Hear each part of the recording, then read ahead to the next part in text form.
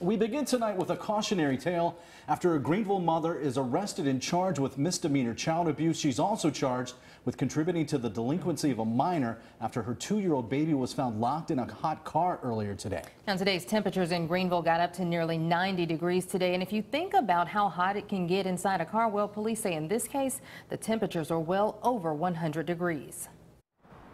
This all went down around 2 o'clock Thursday afternoon when employees at Zoe's Kitchen on Evans Street heard a baby screaming inside a locked car in their parking lot.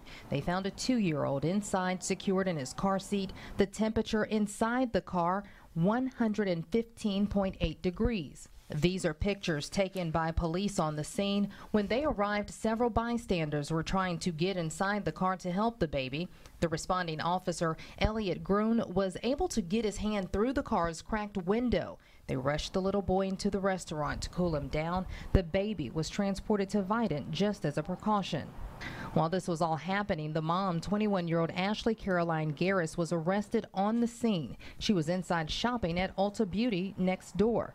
Officers found Garris after the baby had already been transported to the hospital. The investigation shows Garris had been inside the store for nearly an hour.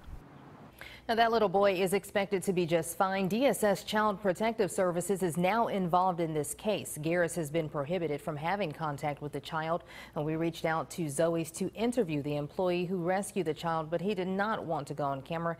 He says he did not want to be portrayed as a hero, but did want to raise, raise awareness about the dangers of leaving your child in a hot car.